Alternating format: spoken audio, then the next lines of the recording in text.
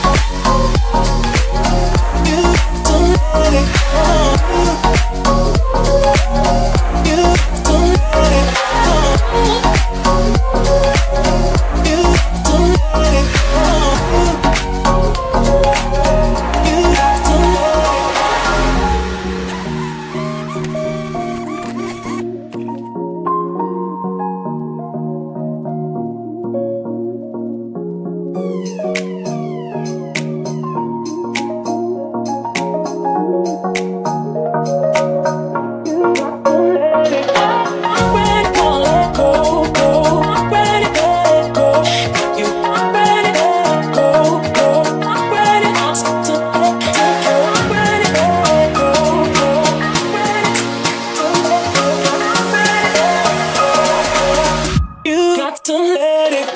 Go.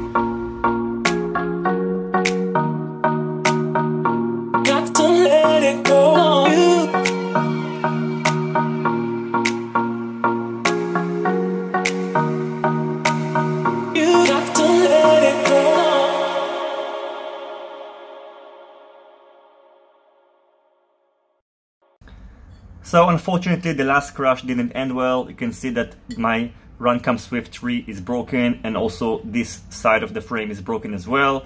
And on the first crash I broke the screen of the Firefly Q6 camera. I can tell you this screen is very fragile. Fortunately, it only cost $4.5, so I ordered a new one. And another thing I can tell you is that first test your quadcopter and then mount the HD camera. It's pretty obvious, but I made this mistake because I was kind of lazy.